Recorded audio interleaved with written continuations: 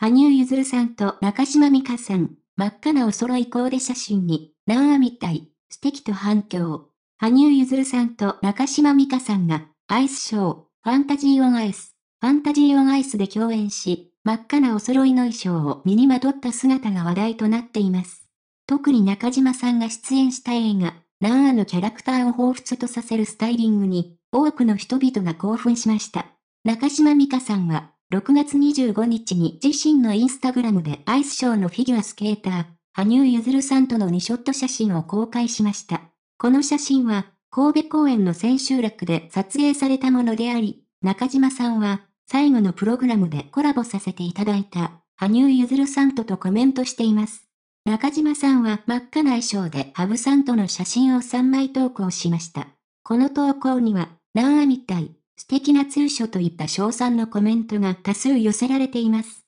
中島さんが映画、ナンアで演じたキャラクターの雰囲気に似ているという指摘や、お揃いのコーディネートがとても魅力的だという感想が広がりました。羽生結弦さんと中島美嘉さんの共演は、多くのファンにとって夢のような瞬間でした。彼らのプロフェッショナリズムと魅力的なビジュアルは、観客を魅了し、多くの人々が感動を共有しました。このような芸術的な出会いは、視覚的な魅力と感情的な共鳴を生み出すものです。羽生さんと中島さんが真っ赤な衣装で写真に収まった姿は、まるで、南アの世界から飛び出してきたように感じられました。彼らのパフォーマンスとスタイリングは、人々の心に強い印象を残しました。アイスショー、ファンタジーオンアイスは、そのうましさとエンターテイメント性で知られていますが、羽生さんと中島さんの共演は、さらに魅力を加えました。彼らの才能と協力は、観客に忘れられない体験を提供し、多くの人々に夢を与えました。